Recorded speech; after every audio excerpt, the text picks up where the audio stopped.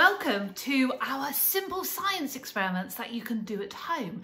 And today we are investigating air resistance and making some simple parachutes. So come and join me.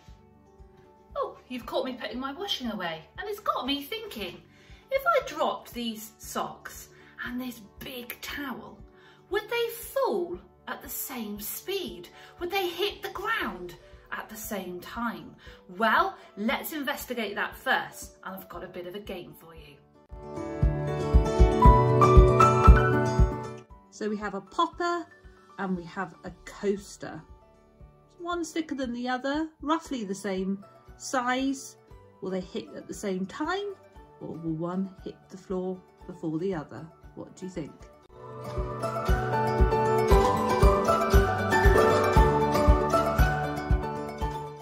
Here's our next challenge, two cuddly toys. We've got one rather plump capybara and we have a very small penguin.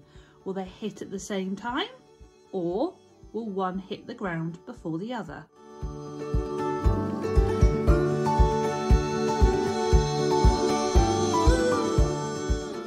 Here's our next one. We have a small plastic peg and we have a fairly heavy tub of cream for your face.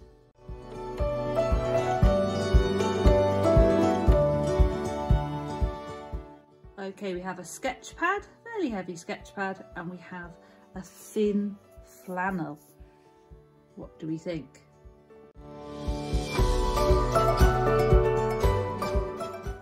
Here's our last one. So we have a tissue that's screwed up and we have a tissue fresh out of the box.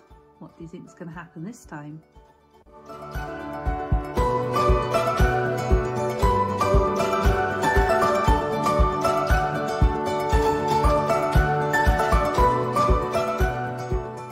So that was really surprising. Nearly all of the objects fell at exactly the same speed and they fell on the bed at exactly the same time. So all objects seem to fall at the same speed and that's to do with gravity. And if you want to know more about mass and weight and the difference between them, then do check out our video on mass and gravity. But things do seem to fall at exactly the same speed. So it doesn't matter if you've got a big uh, towel or a small pair of socks, they do fall at the same speed. But hang on a minute, I hear you say. When we got to the paper towel, it was a bit different because the paper towel that was flat fell far slower than the one that was screwed up. And outside it's a very windy day. And if a leaf falls off of the tree behind me and an acorn falls off with the tree behind me. They're not going to hit the ground at the same time. So I've got something for you to think about. Why is that?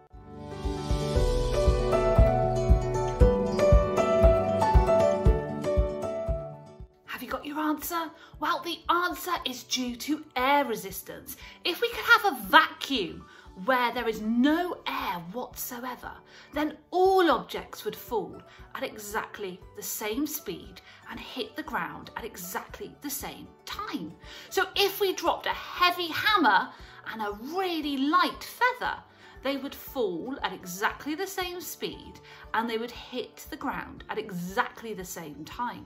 Now, the reason that doesn't happen here on Earth is because we have something called air resistance, but do go and check out them doing that exact experiment on the moon because in a vacuum, the difference is really stark and it's incredible to think that gravity pulls them down at the same speed and they fall at exactly the same time.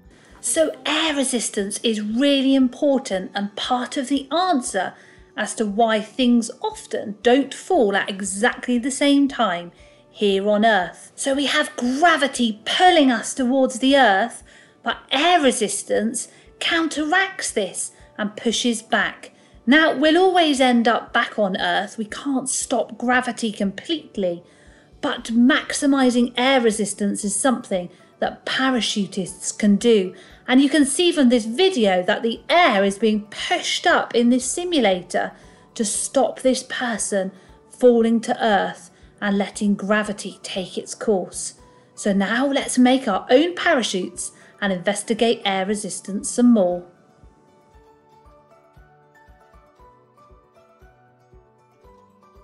So to make your parachute, you're going to need some sort of bag, uh, some string, or I've got some cotton here, and then some scissors, or I've got a skewer because you're to be making some holes, and then some sort of weight to hang off the bottom of your parachute. I've got a threading bead, but you could use some plasticine, um, or you could use um, a building block person, uh, anything that's got a tiny bit of weight to it, which will help your parachute fly. So let's get making. So the first thing you need to do with your bag is you need to find the end, because this bit is going to be what is going to make your parachute. And you're going to put four holes into your parachute at the opening end.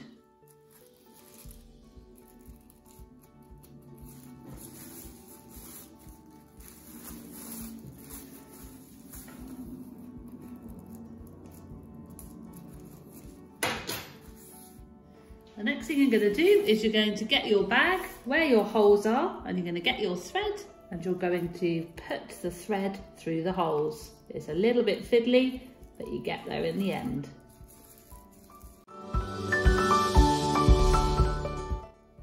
And then once it's through the hole, you're going to tie a knot.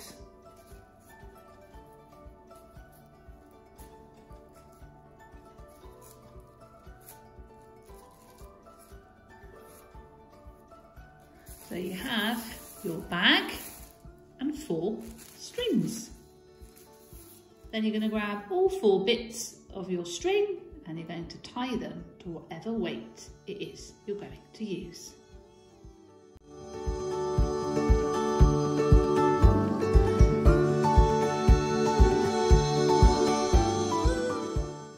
A little bit fiddly, but we got there in the end. And there's your simple parachute ready to go and test.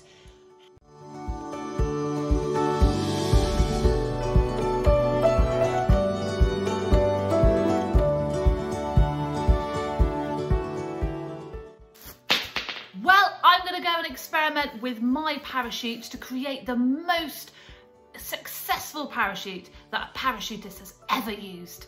And I'm going to experiment with lots of different variables. So first of all, try and change the different type of actual parachute you use.